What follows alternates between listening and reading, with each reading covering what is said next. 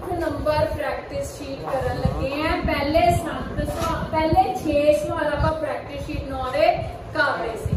ਅੱਜ 7ਵਾਂ ਸਵਾਲ ਕਰਨ ਲੱਗੇ ਆ ਹੇਠਾਂ ਦਿੱਤਿਆਂ ਵਿੱਚੋਂ p ਦਾ ਉਹ ਕਿਹੜਾ ਮੁੱਲ ਹੋਵੇਗਾ?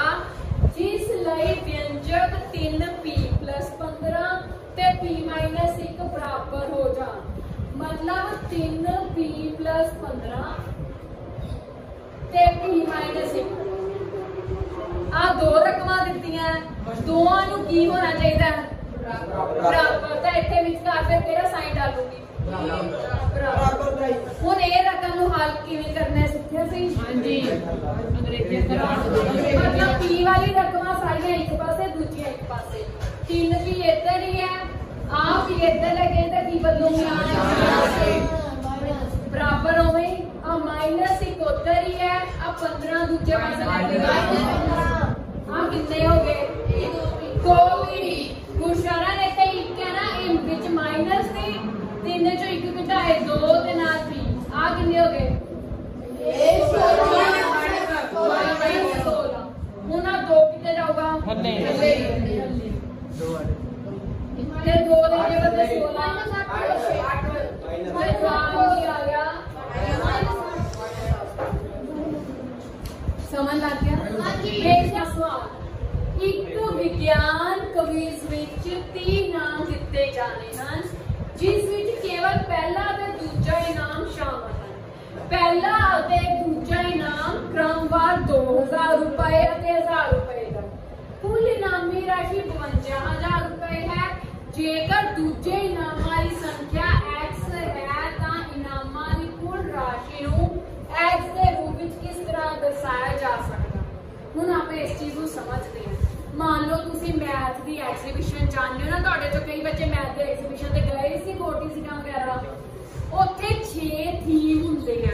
ਇੱਕ ਥੀਮ ਮੈਥ ਦਾ ਇੱਕ ਥੀਮ ਸਾਇੰਸ ਦਾ ਇੱਕ ਥੀਮ ਹੋਰ এনवायरमेंट ਦਾ ਤੇ ਚੌਥਾ ਥੀਮ ਹੋਰ ਐਵੇਂ। ਤਾਂ ਉਹ ਕੀ ਕਹਿ ਰਹੇ? ਕਹਿੰਦਾ ਪੂਰੀ ਐਗਜ਼ੀਬਿਸ਼ਨ 'ਚ ਕਿੰਨੇ ਇਨਾਮ ਦੇਣੇ ਆ?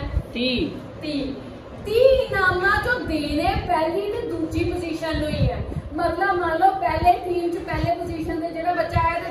ਪੋਜੀਸ਼ਨ ਵਾਲੇ ਨੂੰ ਇਨਾਮ ਮਿਲਨੇ ਆ। ਤੀਜੀ ਚੌਥੀ ਪੋਜੀਸ਼ਨ ਤੇ ਜਿਹੜਾ ਬੱਚਾ ਆਊਗਾ ਉਹਨੂੰ ਇਨਾਮ ਨਹੀਂ ਨਹੀਂ ਮਿਲਣਾ। ਐਵੇਂ ਹੀ ਹੋਰ ਆ ਤੇ ਜਿਹੜੇ ਵੀ ਪਹਿਲੀ ਪੋਜੀਸ਼ਨ ਤੇ ਦੂਜੀ ਪੋਜੀਸ਼ਨ ਤੇ ਬੱਚੇ ਆਣਗੇ ਉਹਨਾਂ ਨੂੰ ਇਨਾਮ ਮਿਲਣਾ। ਜਿਹੜੀ ਪਹਿਲੀ ਪੋਜੀਸ਼ਨ ਤੇ ਬੱਚਾ ਹੋਊਗਾ ਉਹਨੂੰ ਕਿੰਨੇ ਰੁਪਏ ਮਿਲਣਾ? ਹੈ 2000 ਤੇ ਪਹਿਲੇ ਦੂਜੀ ਪੋਜੀਸ਼ਨ ਵਾਲੇ ਨੂੰ 1000 ਹੁਣ ਕਹਿੰਦਾ ਆਪਾਂ ਕੀ ਕੀਤਾ? ਹੁਣ ਪੂਰੇ 30 ਇਨਾਮਾਂ ਚੋਂ ਕਿੰਨੇ ਬੱਚੇ ਪਹਿਲੇ ਤੇ ਆਏ ਕਿੰਨੇ ਬੱਚੇ ਦੂਜੇ ਤੇ ਆਏ? ਕਿੰਨੇ ਬੱਚੇ ਤੀਜੇ ਦੇ ਆਪਾਂ ਨੂੰ ਤੇ ਪਤਾ ਨਹੀਂ ਹਨਾ? ਤੇ ਆਪਾਂ ਇਨਾਮ ਕੱਲੇ ਪਹਿਲੇ ਦੂਜੇ ਨੂੰ ਹੀ ਦੇਣੇ ਆ। ਤਾਂ ਉਹਨੇ ਕਿਹਾ ਕਿ ਜੇਕਰ ਦੂਜੇ ਇਨਾਮਾਂ ਦੀ ਸੰਖਿਆ x ਹੈ ਮਤਲਬ ਜਿਹੜਾ ਦੂਜੇ ਨੰਬਰ ਤੇ ਆਂਦਾ ਬੱਚਾ ਉਹਨੂੰ ਆਪਾਂ ਉਹ ਇਨਾਮ ਨੂੰ ਕਿੰਨਾ ਦਰਸਾਇਆ? X ਨਾਲ। ਤਾਂ ਟੋਟਲ 30 ਇਨਾਮ। ਉਹਦੇ ਚੋਂ ਆ ਪਹਿਲੇ ਨੰਬਰ ਵਾਲੇ ਬੱਚੇ ਨੂੰ ਆ ਇਨਾਮ ਮਿਲਣਾ ਦੂਜੇ ਨੰਬਰ ਵਾਲੇ ਬੱਚੇ ਨੂੰ ਉਹਨੇ ਕਿਹਾ ਕੀ ਕਹਤਾ ਤਾਂ ਫਿਰ ਪਹਿਲੇ ਨੰਬਰ ਵਾਲੇ ਕਿੰਨੇ ਬਚ ਗਏ ਇਨਾਮ ਮੰਨ ਲਓ ਤੁਹਾਡੇ ਕੋਲ 10 ਰੁਪਏ ਸੀ, ਤੁਸੀਂ 6 ਰੁਪਏ ਕਿਸੇ ਨੂੰ ਦੇ ਦੇ ਤਾਂ ਕਿੰਨੇ ਰੁਪਏ ਬਚੇ? ਉਵੇਂ 30 ਇਨਾਮ ਸੀ 30 ਚੋਂ x ਇਨਾਮ ਨਿਕਲ ਗਏ ਤਾਂ ਬਾਕੀ ਕਿੰਨੇ ਬਚੇ? ਇੱਥੇ ਕਿਹਾ ਮੈਂ 15 ਘਟਾਇਆ ਇੱਥੇ x ਘਟਾਇਆ ਤਾਂ ਇਸ ਨਾਲ ਬਾਕੀ ਕਿੰਨੇ ਬਚੇ? ਹੀ x ਜੇ ਆਪਾਂ ਇੱਥੇ x ਦਾ ਕੋਈ 4 6 8 ਕੋਈ ਕਹਿ ਦਿੰਦੇ, ਫਿਰ ਤੁਸੀਂ ਮਿੰਟੋ ਮਿੰਟ ਕਰ ਦੇਣਾ ਸੀ। ਪਰ ਉਹ ਕਿਉਂਕਿ x ਲਿਖਿਆ ਮਤਲਬ ਕੀ ਹੈ ਕਿ 30 ਚੋਂ x ਇਨਾਮ ਵੰਡੇ ਗਏ, ਪੈ ਦੂਜੇ ਨੰਬਰ ਤੇ ਵੰਡੇ ਗਏ, ਤੇ ਪਹਿਲੇ ਨੰਬਰ ਵਾਲੇ ਇਨਾਮ ਕਿੰਨੇ ਰਹਿ ਗਏ? 30 x ਯਾਨੀ ਕਿ ਜੇ ਮੰਨ ਲਓ ਟੋਟਲ 15 ਇਨਾਮ ਹੈ 15 ਤੋਂ 10 ਇਨਾਮ ਦੂਜੇ ਨੰਬਰ ਵਾਲੇ ਬੱਚਿਆਂ ਨੂੰ ਦਿੱਤੇ ਗਏ ਤਾਂ ਫਿਰ ਪਹਿਲੇ ਨੰਬਰ ਪੋਜੀਸ਼ਨਾਂ ਕਿੰਨੀਆਂ ਆਈਆਂ 15 ਚੋਂ 5 ਰਹਿ ਗਈਆਂ ਨਾ ਉਵੇਂ ਹੀ ਜੇ ਦੂਜੇ ਪੋਜੀਸ਼ਨਾਂ ਤੇ x ਆਇਆ ਤਾਂ ਪਹਿਲੀ ਪੋਜੀਸ਼ਨ ਤੇ ਕਿੰਨੇ ਆਏ 30 x ਹੁਣ ਦੇਖੋ ਦੂਜੇ ਪੋਜੀਸ਼ਨ ਵਾਲੇ ਬੱਚੇ ਨੂੰ ਕਿੰਨੇ ਰੁਪਏ ਦੇਣੇ ਆ? ਹਜ਼ਾਰ। ਹਜ਼ਾਰ। ਤਾਂ ਯਾਨੀ ਕਿ ਇੱਕ ਬੱਚੇ ਨੂੰ 1000 ਹੈ ਤੇ ਜਿੰਨੇ ਇਨਾਮ ਮੰਨ ਲਓ ਇੱਥੇ 10 ਇੱਕ ਬੱਚੇ ਨੂੰ 1000 ਮਿਲਿਆ ਤੇ 10 ਬੱਚਿਆਂ ਨੂੰ ਕਿੰਨੇ ਮਿਲ ਗਏ? 10 ਹੀ ਗੱਲ ਹੋ ਗਿਆ ਤਾਂ ਉਵੇਂ ਇੱਥੇ 10 ਦੀ ਬਜਾਏ ਕੀ ਲਿਖਿਆ? X ਤੇ ਯਾਨੀ ਕਿ 1000 x ਹੋ ਗਿਆ। ਹਾਂਜੀ। ਇੱਕ ਨੂੰ 1000 ਮਿਲਿਆ ਤੇ ਜਿੰਨੇ ਬੱਚੇ ਹੋਣਗੇ ਉਹਨੇ ਨਾਮ ਹੋ ਜਾਣਗੇ।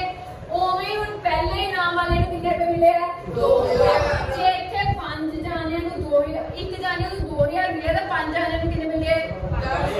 10000 ਯਾਨੀ ਕਿ ਆਪਾਂ ਗੁਣਾ ਕਰਦੇ ਆ। ਇਹ ਮੈਂ ਤੁਹਾਨੂੰ ਪਹਿਲਾਂ ਵੀ ਕਿਹਾ ਜਦੋਂ ਇੱਕ ਚੀਜ਼ ਦਾ ਮੁੱਲ ਕੱਢੀਦਾ ਉਦੋਂ ਡਿਵਾਈਡ ਜਦੋਂ ਇੱਕ ਤੋਂ ਜ਼ਿਆਦਾ ਦਾ ਮੁੱਲ ਕੱਢਣਾ ਹੋਵੇ ਉਦੋਂ ਕੀ ਕਰੀਦਾ? ਮਲਟੀਪਲਾਈ ਦਾ ਇਹ 3 x ਨੂੰ 2000 ਨਾਲ ਕੀ ਕੀਤਾ? ਤੇ ਇਹ ਸਾਰੇ ਇਨਾਮ ਮਿਲ ਕੇ ਹੀ 30 ਇਨਾਮ ਬਣੇ ਆ। ਤੇ ਇਹਨਾਂ ਨੂੰ ਆਪਸ ਕੀ ਕਰਤਾ? ਤਾਂ ਹੁਣ ਆਪਣੇ ਕੋਲ ਬਣੀ ਗਈ ਸਿਸਟਮ 30 x ਇਹ ਪਹਿਲੇ ਨੰਬਰ ਵਾਲਾ ਇਨਾਮ ਹੈ ਉਹਨੂੰ ਕਿੰਨਾ ਮਲਟੀਪਲਾਈ ਕੀਤਾ? 2000 ਨਾਲ। ਕਿਉਂਕਿ ਪਹਿਲੇ ਨੰਬਰ ਵਾਲੇ ਬੱਚੇ ਨੂੰ 2000 ਮਿਲਣਾ ਪਲੱਸ ਦੂਜੇ ਨੰਬਰ ਵਾਲੇ ਇਨਾਮਾਂ ਦੀ ਗਿਣਤੀ x ਹੈ। ਤਾਂ ਉਹਨੂੰ 1000 ਨਾਲ ਗੁਣਾ ਕੀਤਾ ਕਿਉਂਕਿ ਦੂਜੇ ਨੰਬਰ ਵਾਲੇ ਬੱਚੇ ਨੂੰ 1000 ਇਹ ਕਿੰਨੇ ਪੈਸੇ 52000 ਰੁਪਏ। ਤੇ ਸਾਰੀ ਰਕਮ ਕਿੰਨੇ ਬਰਾਬਰ ਹੋਊਗੀ?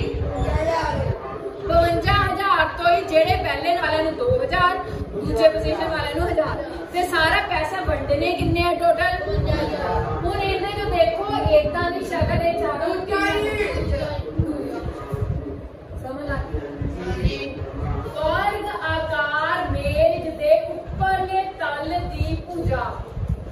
ਦੀ ਲੰਬਾਈ x ਹੈ। ਇਸ ਦੇ ਘੇਰੇ ਨੂੰ ਪਤਾ ਕਰਨ ਲਈ ਵਿਅੰਜਕ ਹੋਵੇਗਾ। ਆ ਮੇਜ ਹੈ ਮੰਨ ਲਓ ਤੁਹਾਡੇ ਸਾਹਮਣੇ ਆ ਮੇਜ ਹੈ ਹੈਨਾ? ਮੇਜ ਦਾ ਉੱਪਰਲਾ ਤਲ ਮਤਲਬ ਕੱਲਾ ਆ ਹਿੱਸਾ।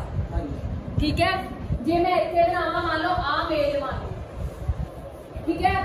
ਮੇਜ ਦੇ ਆ ਉੱਪਰਲਾ ਜਿਹੜਾ ਉੱਪਰ ਫੱਟਾ ਹੁੰਦਾ ਉਹਨੂੰ ਤਲ ਕਿਹਾ ਇਹਨਾਂ ਨੇ ਤੇ ਹੁਣ ਉਹ ਤਲ ਕਿਹੜੀ ਸ਼ਕਲ ਦਾ ਇਹਨਾਂ ਨੇ ਕਿਹਾ? ਵਰਗ ਦੀਆਂ ਸਾਰੀਆਂ ਸਾਈਡਸ ਕੀ ਹੁੰਦੀਆਂ? ਤਾਂ ਸਾਈਡ ਉਹਨਾਂ ਨੇ ਕੀ ਦਿੱਤੀ ਹੈ? ਠੀਕ ਹੈ। ਹੁਣ ਉਹਨਾਂ ਨੇ ਕਿਹਾ, ਪਰਿਮਾਪ ਦੱਸੋ ਘੇਰਾ ਮਤਲਬ ਪਰਿਮਾਪ ਮਤਲਬ ਪੈਰੀਮੀਟਰ ਪੈਰੀਮੀਟਰ ਕਿਵੇਂ ਪਤਾ ਕਰਦੇ ਆ? ਸਾਰੀਆਂ ਭੁਜਾਵਾਂ ਨੂੰ ਕੀ ਕਰ ਲੈਣੇ ਆ?